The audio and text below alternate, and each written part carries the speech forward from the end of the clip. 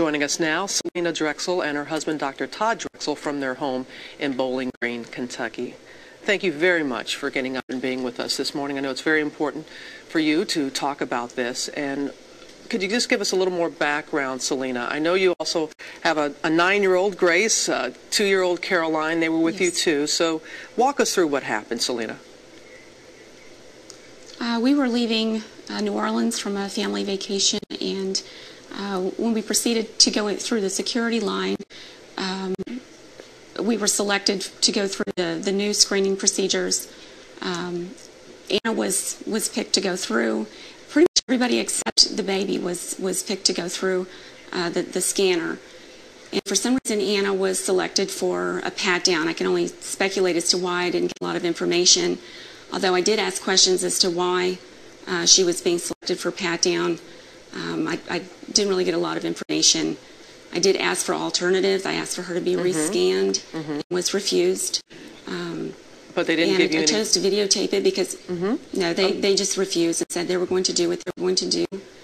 And um, not verbally, but in, in no uncertain terms, apparently the TSA supervisor is very skilled at nonverbal communication, letting me know that there would be trouble if I, if I caused a, a fuss. But nothing was said because we heard that did vid- we, we saw the TSA agent that was patting down your daughter uh, was was being as gentle as as, as possible, but absolutely that, can agent, understand. that agent was, was acting, that agent was doing what she was Right. instructed to do. Todd, what was what It was your girl's? agent off camera. Thank you. What was your uh, was Anna's reaction um, as this was happening and afterwards?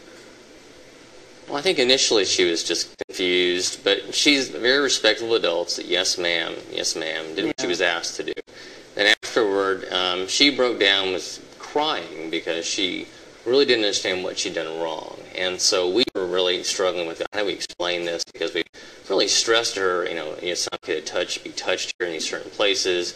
And now she's been pat down in a, in a public setting, in an airport, and she was upset and crying. So we had to try to explain this to her. It was very difficult. I'm sure it was very confusing to her. And yes, we could hear her. She's so well mannered, and we could hear her saying yes, ma'am, uh, to the agent. Um, there's a lot of questions as to why you decided to post this on YouTube for others to see, and what is your hope will come of this, Selena? Well, our- my, my reason for posting it was that we, we just had a, a very bad feeling that, that, you know, what happened was, was wrong, and I posted it out there to, to get other people's opinions on it and to see, you know, to get, to get some other people's thoughts on it. Um, we felt that it was inappropriate. You know, we struggle to teach our, our child to protect themselves, to say no, to say it's, you know, it's not okay for, for folks to touch me in this way in these areas. Uh, yet here we are, you know, saying, okay, well, it's okay for these people. We feel that for children especially, the answer should always be no. Um, that there needs to be different screening procedures, especially for children.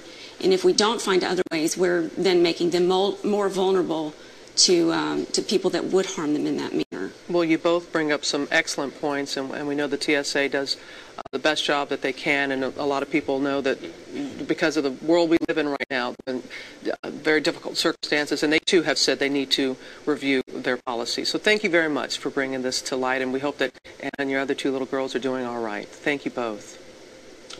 Thank yes, you. thank Good you. Good morning. morning. Uh, have a good day.